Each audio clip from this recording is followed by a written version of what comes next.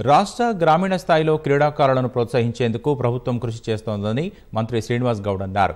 గుజరాత్లో జరిగే ముప్పై ఆరవ జాతీయ క్రీడల కోసం స్పోర్ట్స్ కిట్లను హైదరాబాద్ రవీంద్ర భారతిలో పంపిణీ చేశారు. క్రీడాకారులకు ఎనిమిదేళ్ళుగా ఇస్తున్న ప్రోత్సాహంతో జాతీయ అంతర్జాతీయ స్థాయిలో రాణిస్తున్నారని పేర్కొన్నారు.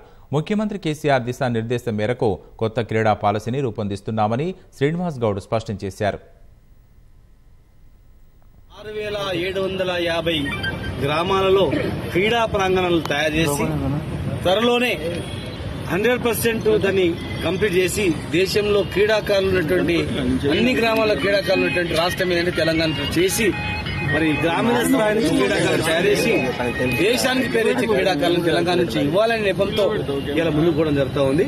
తెలంగాణ వచ్చిన తర్వాత యాభై ఐదు మినీ స్టేడియాలను కూడా ప్రతి జిల్లాలో కూడా కట్టడం జరిగింది. ఇంకా భవిష్యత్తులో క్రీడా పాలసీ ద్వారా ఇంకా మంచిగా క్రీడా పాలసీ ద్వారా చేయాలని చెప్పి అధికారులందరూ కూడా కసరత్తు చేస్తారు ఏ రాష్ట్రంలో ఎట్లుందని చెప్పి.